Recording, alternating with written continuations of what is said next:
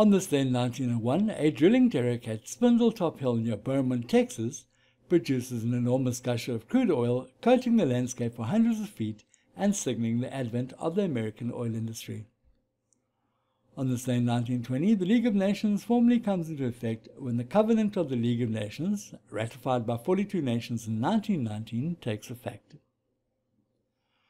On this day in 1923, four years after the end of World War I, President Warren G. Harding orders U.S. occupation troops stationed in Germany to return home.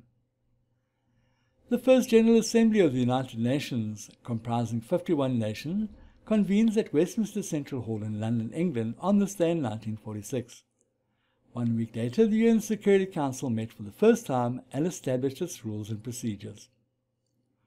On this day in 1962, an avalanche on the slopes of an extinct volcano kills more than 4,000 people in Peru.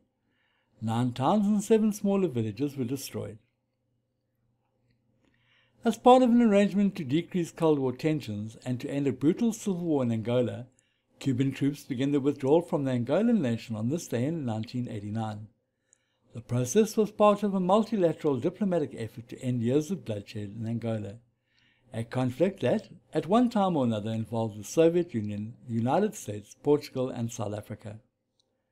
Frank James, brother of the more well-known outlaw Jesse James, was born in Clay County, Missouri on this day in 1843.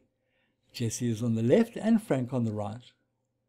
Scottish music legend Rod Stewart is born on this day in 1945. Also born on this day in 1949 was former world heavyweight boxing champion George Foreman. And finally, on this day in 1879, 22-year-old Prince Imperial of France, Jean-Louis Jean-Joseph Napoleon, who studied in England at the Royal Military Academy and joined the British forces, is killed during the Anglo-Zulu War in South Africa.